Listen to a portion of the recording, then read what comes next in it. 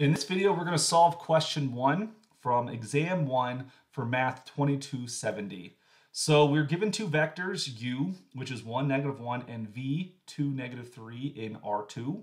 And we're asked to compute the linear combination 2 plus 2u plus 3v.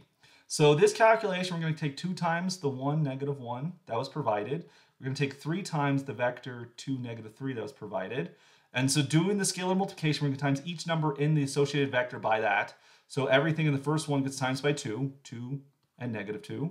And then for the second one, you times everything by 3. You're going to get 3 times 2, which is 6. 3 times negative 3, which is negative 9.